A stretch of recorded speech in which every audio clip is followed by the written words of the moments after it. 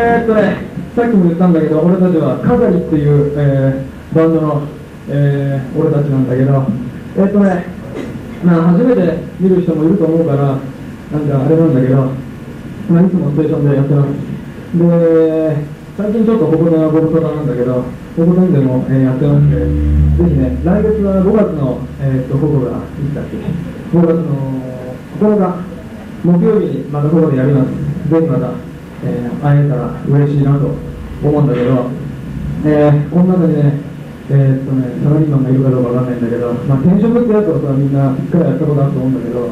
俺もね、なんか怒られたり、怒られたりとか、なんかね、どつかれたりで、えー何回も転職したことあるんだけど、まあ、そういうね、しがらみの中で書いた曲、次に行きます。嘘つきサンボディでした。えっとね、ここからあと、俺たち残り3曲、えー後半なんだけど、えっとね、年に1回ね、俺ら、俺らっていうか、俺だけなんだけど、年に1回なんかね、えっと、俺真面目に生きてんだけど、なんか喧嘩にね、巻き込まれることがよくあって、で、